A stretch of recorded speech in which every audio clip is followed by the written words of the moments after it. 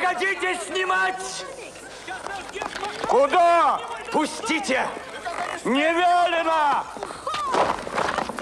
Ты что? Яган Францич! Эзенштейн! Подождите меня! Эзенштейн! Яган Францич! Товарищ Эзенштейн! Подождите!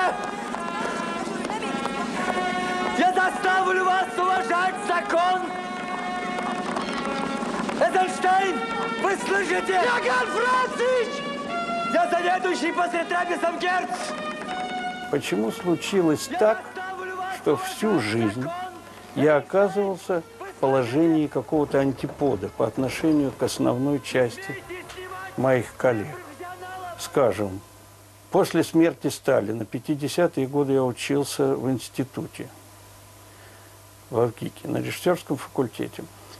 И после 53 года в нашем кинематографе, который был в это время бесконфликтным, помпезным, но как только умер Сталин, и, наконец, когда творцы освободились от этого давления, они все увлеклись итальянским неореализмом, особенно вот молодые. Это такой ползучий советский неореализм, доходящий порой до абсурда, потому что как только за кадром герой уходил в туалет и раздавался звук спускаемой воды в туалете, в Доме кино раздавались аплодисменты. Настолько просто э, жизнь, жизненные вот такие признаки такой прозы жизненной вызывали сами по себе восторг, вне зависимости от искусства. Я категорически это не принял. И я это заявлял с Гиковской трибуны, я это заявлял на обсуждениях в Доме кино.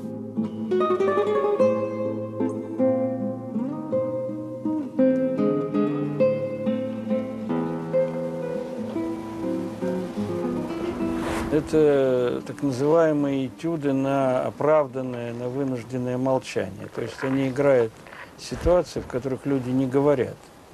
Не, не пантомиму, а вот естественная ситуация. Они полтора месяца проучились всего.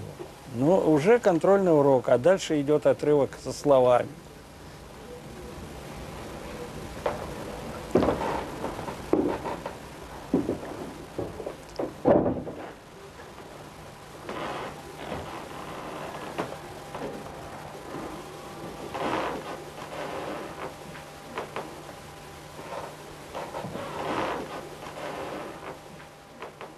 Значит так, во-первых, бесконечный этюд, вот мы не засекали время. Огромное количество э, случайных подробностей. И опять это же общая болезнь. Понимаете, все-таки вы начинаете чего-то изображать. Ну вот я вам сейчас, ну вот скажем, вот он выглядывает, ну для начала, выходит она, Звонит человек, она идет звонить по автомату, по телефону. Он набирает, да? Ну и прошла, и все. Нет, почему-то идет вот такая мизансцена. Что это такое вообще? Что это значит? Почему? Тем, чтобы вот тут его увидеть, что ли? Теперь дальше, вот здесь, вот он отзвонил. Она ушла туда. Начинается вот такое –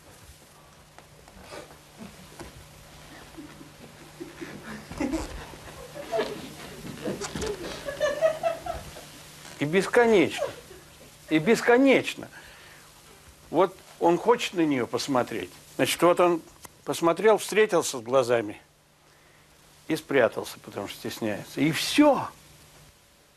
Надо, чтобы не было случайностей. Мне казалось, что нам как бы надо вернуться на те позиции в кинематографе и в искусстве, которые были противоестественно задавлены не только э, властью, но и, скажем, войной. Это было искусство мощной кинематографической формы. Наше киноискусство 20-х и 30-х годов это был самый э, естественный и самый органичный авангард – такой. Это было такое пиршество формы кинематографической. Я пришел в Авгик из театра. Я всего этого не принимал. понимаете? Мне казалось, что там нет живых людей, актеров и так далее. Но как только э, умер Сталин, как только начало- началась советская неореалистическая эра, я наоборот вернулся к этому. Просто всю жизнь я всегда противостоял тотальному направлению. Герц Иоганн Франциевич. Францевич. Иностранец? Да. А почему так здорово по-русскому говоришь? Потому что был учителем русского языка в Геттингене. А почему оказался в корпусе красного казачества? Потому что, прочтя Бакунина, Гегеля, Бердяева и Ницше, убедился, что учение Маркса единственно верное. А здесь а почему оказался? Врачебная комиссия нашла непорядок в легких и определила меня на юг. Фу ты, черт! Мне с первоначалу очки его не понравились. И нам тоже. Точно. Как же ты с ими Беляков-то рубал? А вот так и рубал. Антикино, решил я главное. Вот все, что в кино считается плохим, что в кино нельзя, все можно. Идут, идут, господа, идут! Гениальность великих мастеров в кинематографе заключается в том, что они создают мир, которого нет, но который настолько осязаем, что кажется, что он есть или был. Самый яркий пример интервенции. Ну, во-первых, лестница знаменитая Потемкинская, которую я преобразил, чтобы создать вот этот пролог, парадный марш. Из моря выходят интервенты. Лестница у меня упирается в море. Вы же знаете, что одесская лестница в море не упирается. Вокруг какая-то неразбериха, грязная зелень, а я сделал колоннаду справа и слева. В конце опять ротонда, которая взята, она, собственно, была снята около Воронцовского дворца. Там Воронцовский дворец, который достаточно далеко находится от этого места, и сам дворец, потом такая площадка и такая вот колоннада полукруглая. Вот как бы этой колоннадой кончалась Потемкинская лестница. И там такой амфитеатр, и вся городская буржуазия встречает этих интервентов. Первый раз, когда в Лондоне показал, эти кадры были в 88 году, встреченные аплодисменты. Думали, что это все построено. Вот это пространство создавало ощущение парада мощи и надежды. Это не никто не может устоять перед этой лавиной и силы, и уверенности, и яркости, и такого художественного произвола, разгула такого формального, понимаете? Я э, в одном из нас снимал Москву. Это Москва 41 года. И там надписи эти, Москва, там Кремль, там и так далее. Это снималось в Одессе. И я, потому что в Одессе, не только потому, что там было теплее, но потому что в Одессе было больше возможностей для стилистики 30-х годов. Для, э, ну, я такую Москву придумал, э, сочетание Кремля и Корбюзье, знаете, такие крайности. Там, средние века и ультрасовременные такие эти здания мечты почти такие. Такой клуб там, из которого вываливается э, герой, героиня там. Э, завод, который я сделал из конструктивного стадиона. Взял стадион, на стадионе поставили трубы, которые задымили. И ошалевшие одесситы не понимают, что творится, и с этого стадиона идут рабочие, понимаете? А это стадионы Черноморец. Вообще, самое дорогое, я считаю, в, в кинематографе, для меня авторское кино не в том, что оно, скажем, не похоже на ну, такое заумное и сложное для, для восприятия. А авторское кино, что это для меня это занимательный, сладкий произвол мастера. Знаете, как яд бывает сладкий. Человек знает, что яд, но пьет и не может остановиться. По карманам стал рубли,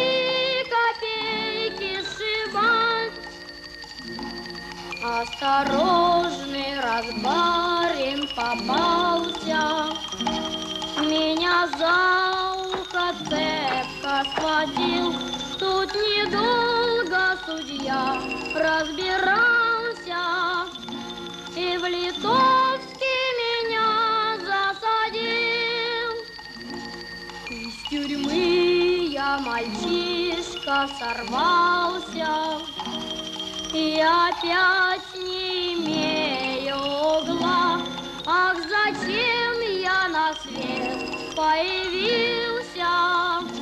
Ах, зачем меня мать родила? Можно относиться к этому как к чистой клоунаде. Вот один трюк, другой трюк, потом их склеить, да еще подчинить какому-то сюжету, и э, зритель будет с удовольствием на это зрелище смотреть.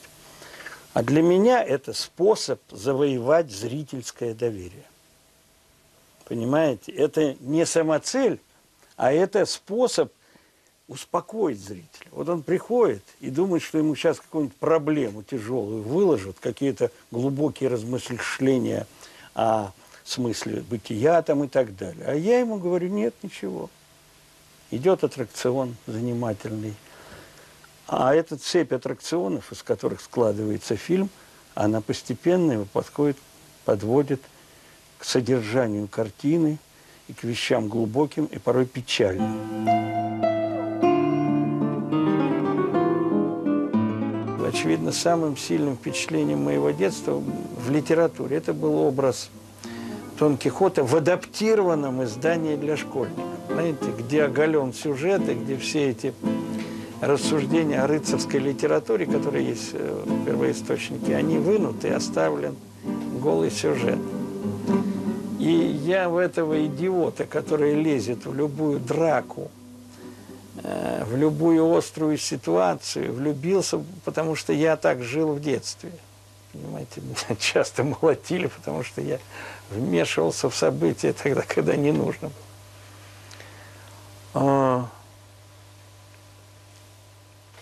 Такая крайняя бескорыстность, такая искренняя приподнятость, такое естественное позерство.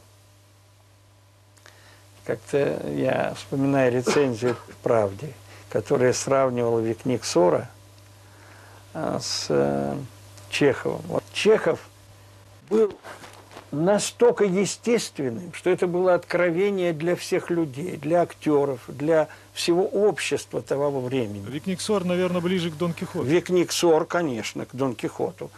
А, И никакого, ничего общего с Чеховым он не имеет. Это значит просто не понять картину. А Викниксор разве позер? Конечно, позер. Прости, корабль взмахнул крылом, зовет труба моей. Жеребец наш заржал! Колотина, как у дьякона.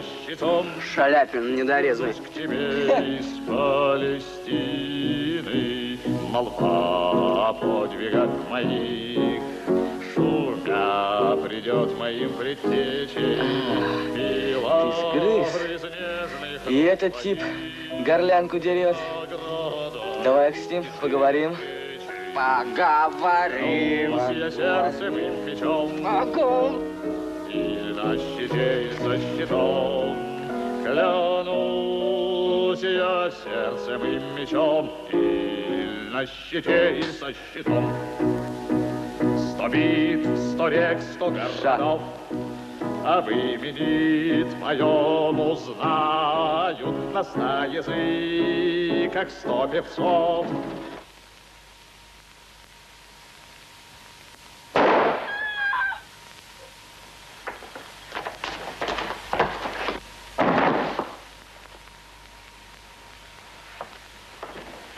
И побежден одной судьбой, Умру тебя благословляя. Клянусь я сердцем и мечом, И на щите, и со. В моем доме всегда была такая чеховская традиция. Мои родители очень любили Чехова, но чем жестче жизнь обращалась со мной, чем были сложнее обстоятельства, когда закрывались картины, когда меня таскали в кабинет исследователя, тем э, ближе я подходил к Толстому, который поначалу, именно из-за того, что во всех его произведениях всегда есть проповедь, страстная такая проповедь, понимаете, нравственная. Мне по молодости это казалось противоестественным, и это меня угнетало. А потом, вот уже на Шкиде это было, когда я столкнулся с колониями, где я отбирал детей, когда я столкнулся с нетерпимостью. Что такое колония? Это или камера в тюрьме или в лагере. Это когда каждый свое право должен отвоевать, входя только в помещение. Он сразу должен кого-то укусить, как волк, грызнуться даже без повода.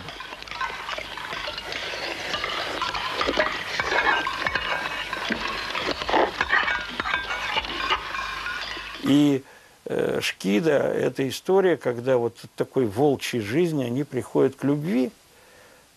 Самые такие пиковые моменты э, в Шкиде – это когда они поют гимн, выбирают правительство свое. Финал, когда они любят друг друга, им кажется, что такое счастье. Это когда тебе кажется, что тебя все любят, и тебе кажется, что ты всех любишь, понимаете?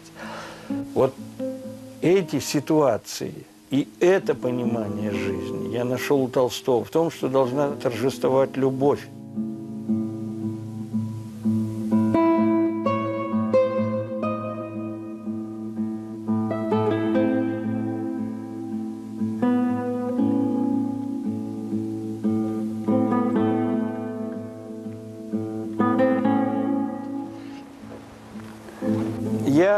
Я вступил э, возраст, когда вы просыпаетесь ежедневно в 5 часов в ужасе.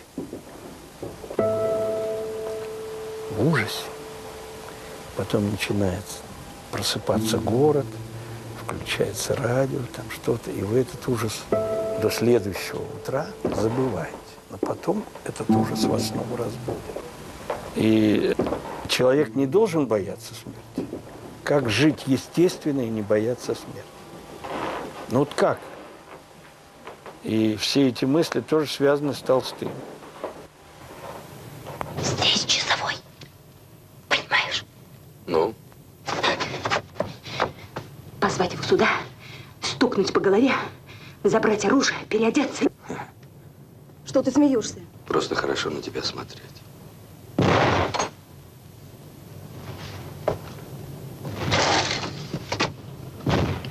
Ну, Во-первых, он сюда не войдет. Во-вторых, если этот дурак захочет войти, он не сможет, у него нет ключей. Да? Вот. А в-третьих, мы не смогли бы его взять. Ты женщина, и я раненый мужчина. А в-четвертых, даже если бы мы его и взяли, мы не смогли бы выйти отсюда. Потому что там, за поворотом, стоит еще часовой, потом еще. И вся эта могила наполнена ими, как... Пшел вон! Вот так. А все-таки, а если попробовать? Не расслабляй себя мечтанием. Не надо. Все равно уровень самый высокий определяют актеры, способные потрясать. Не убеждать своей подлинностью, а потрясать. Вот если, скажем, ну, тогда можно говорить о Луспекаве. Это что такое? Там в, в картине «Белое солнце в пустыне» все хорошие артисты, там нет плохих. Но есть один, кто потрясает.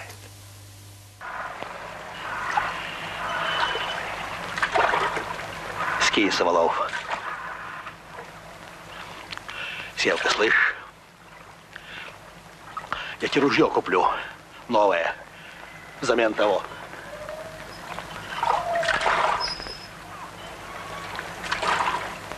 У меня деньги дома есть. Много денег. Вот ключи. Я его снимал в двух фильмах, к сожалению. Я его снимал в «Капроновых сетях». Э, И, значит, ну, это фильм мы снимали вдвоем, и я в основном артистами там занимался. Все равно, несмотря на то, что вроде бы детский фильм, он играет вообще финальная сцена какая, когда он просит прощения у этих детей.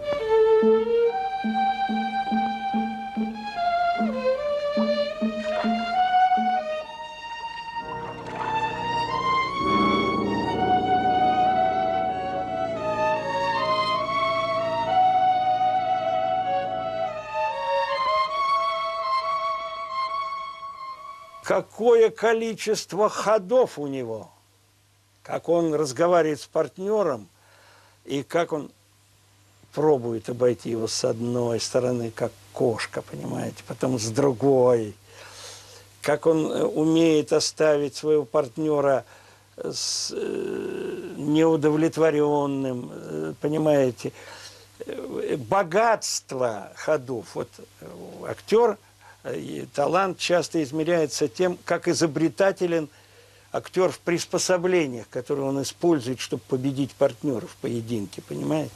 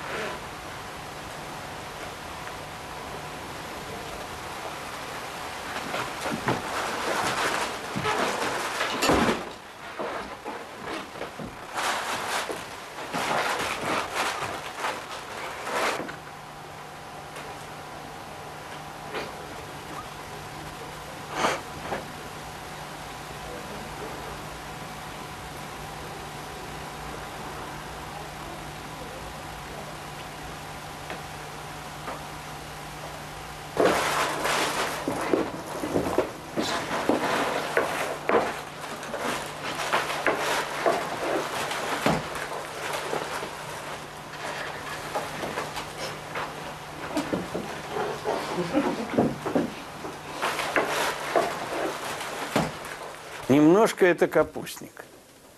Немножко не хватает серьезности. Если будет это серьезнее и точнее, будет смешнее. Понимаете?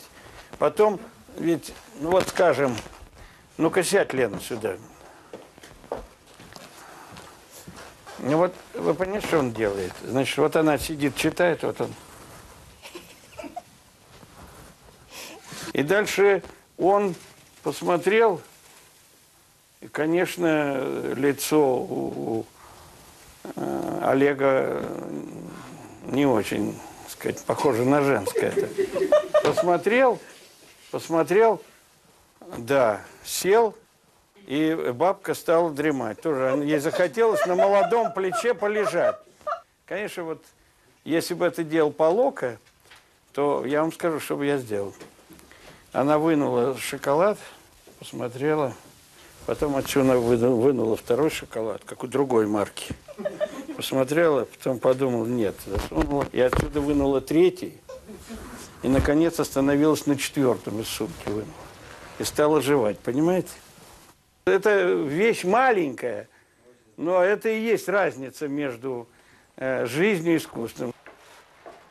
Я смотрю, как играет Луспекаев. Это обычная реакция на Луспекаева. Это когда ему табуретом бьет по голове. Преподаватель гимнастики. Ух ты! Поддубный. Шемякин. Чего оделся скотобойный? Ломовик. Константин Александрович Медников. Косталмет. Черных завтракать будешь в ужин. Че вел такого? Не шали. Его уже тогда болезнь донимала, да? Ну, он уже э, практически, ну, уже на капроновых сетях он был уже практически без ступней. То есть там что-то оставалось, но это... А в, э, в республике Шкит это уже были такие, э, ну, обрубки, на которые надевались такие протезные ботинки. Вот. И практически уже ног не было.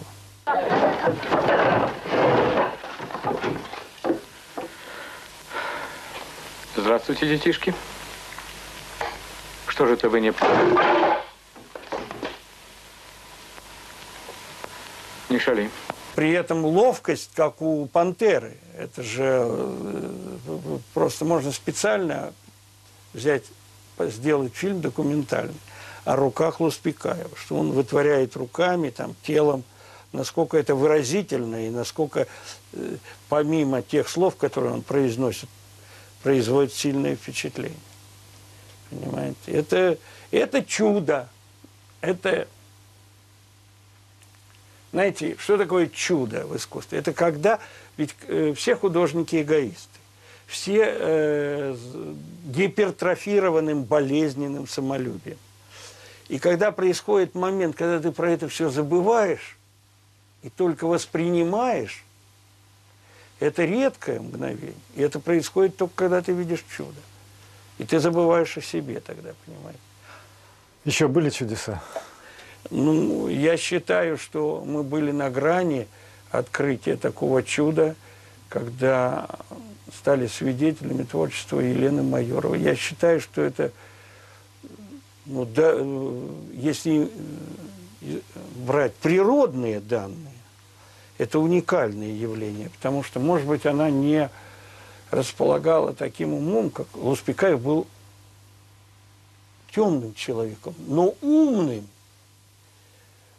Он блистательный был человек. Он написал, прежде чем играть, значит, в «Мертвых душах», Ноздрева, он написал статью о творчестве Гоголя. Он прочитал Гоголя и написал грандиозную статью. Лена Майорова из Южно-Сахалинска тоже была человеком малообразованным, но она была, она сохранила наив просто ребенка. Она была, к сожалению, я не могу сказать, что она была мудрая, но интуиция была великого человека. Ну вот я не понимаю, как вот, скажем, люди не видят, что в, в том же «Возвращении броненосца» или даже в нашем призвании, где она впервые снялась в 80-м году, ну, играть сцену, когда она первый раз соблазняет героя во время пьянки первомайской и поднимает за него тост, она технически, не, ну просто ее сыграть невозможно. Я не знаю актрису, которая это может сыграть. Она вся идет на пьяном хохоте, непонятно, когда она берет дыхание. А вот я сейчас такой тост скажу. Посмотрим, как вы не пьете. Ну-ка, Беатриска, налей моей птичке. Да смотри, полный, чтоб кавалерист водку не пил, не поверю. Прошу. За первый корпус Красного казачества и за его командира, товарища Примакова, лично!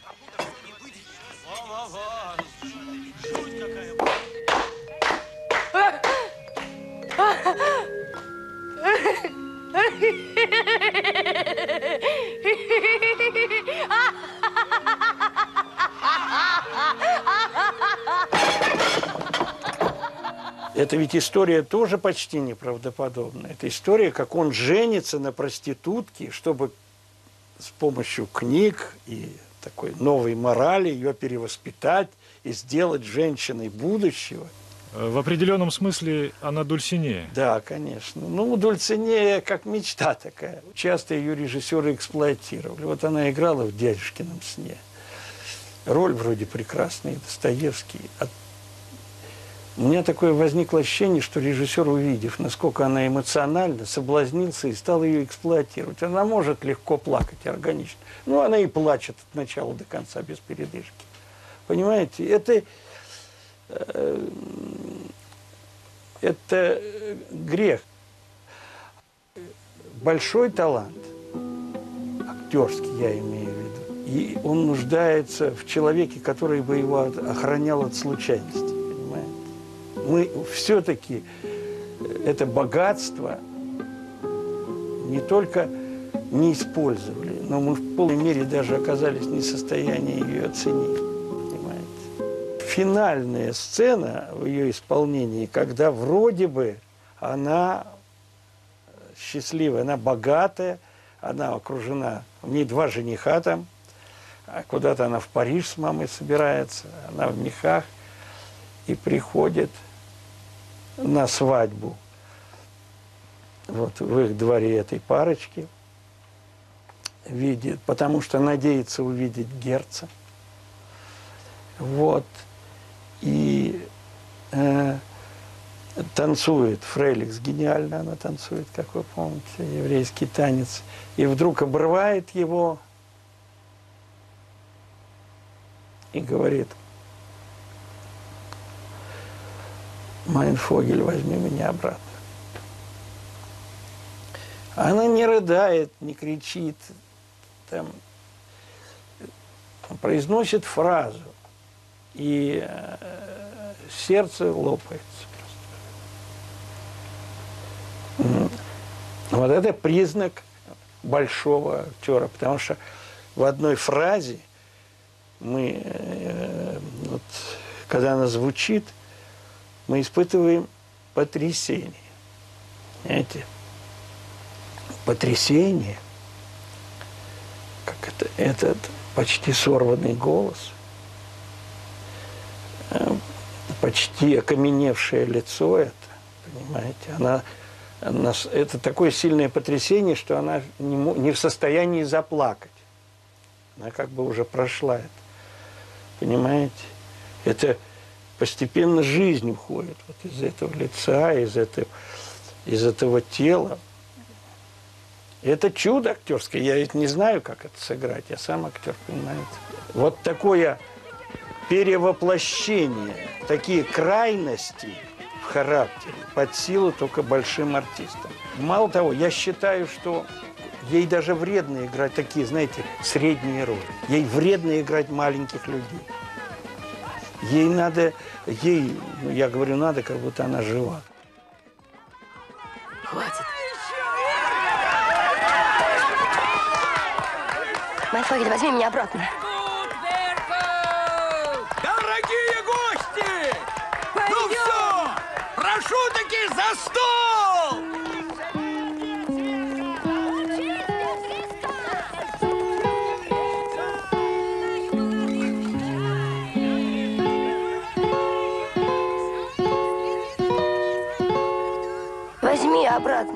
Обратно. Майнфогель.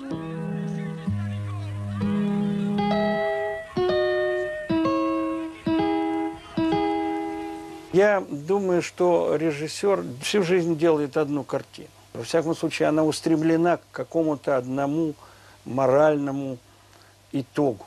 Я считаю, что, и в этом смысле я наследник Толстого, что наступает иногда мгновение в, жизни человека, особенно у человека хорошего, у которого положительный потенциал преобладает. Когда ему кажется, что его все любят. И он готов всех любить за это. Он окружен таким любовным морем. Куда ни повернется, везде любящие глаза. Это состояние, как правило, бывает кратковременным. И поэтому люди им не дорожат. Они не понимают, что вот это, это и есть высший взлет человеческой жизни, и это и есть кульминация.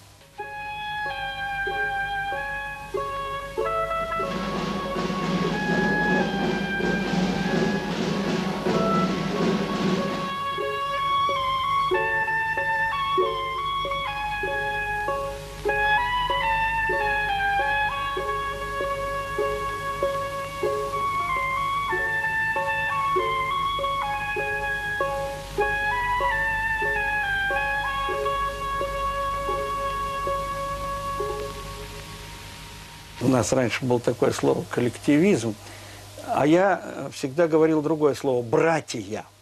Не братья, а в монастырях была братья. Понимаете? Вот в республике Шкит, вот печальный финал, но там братья.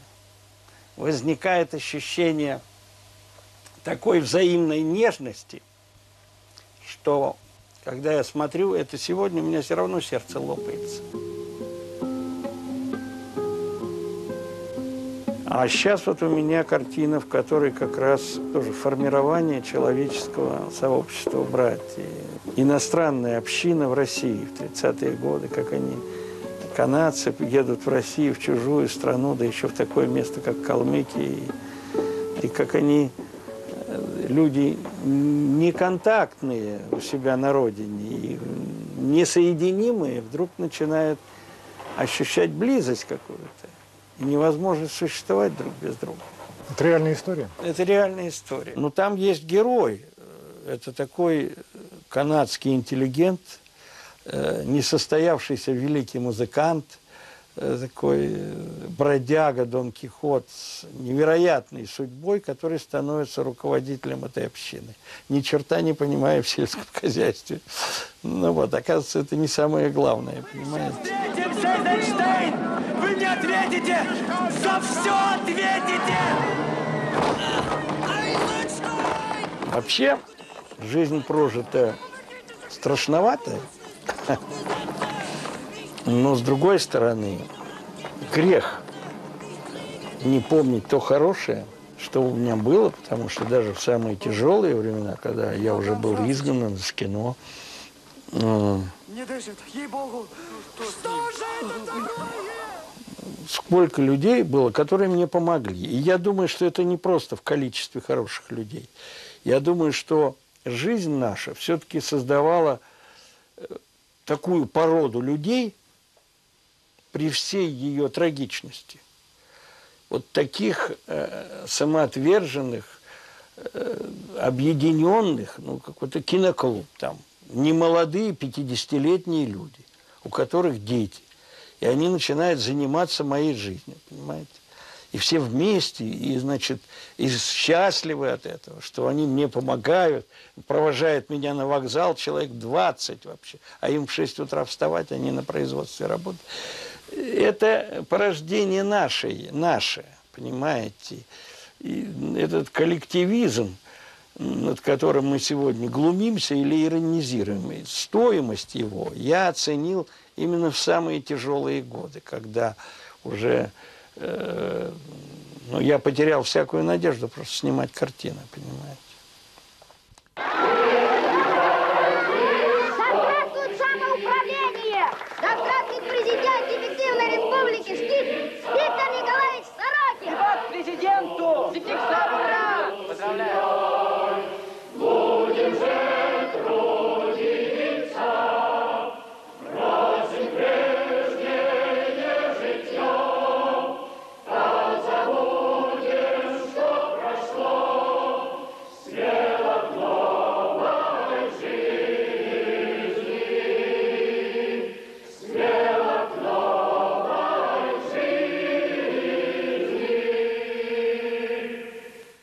Это то наследие человеческое, которое я принимаю и которое я ощ- ощутил вот в этом канадском проекте. Потому что там тоже есть община, и как эти чужие люди, начинающие с э, грызни, с этой драки за землю, за эти, кто первый получит дом или строительные материалы, там битва идет. Люди э, э, обозленные, приехавшие к нам, как они тоже обретают вот это счастье э, взаимного преодоления ужаса жизни.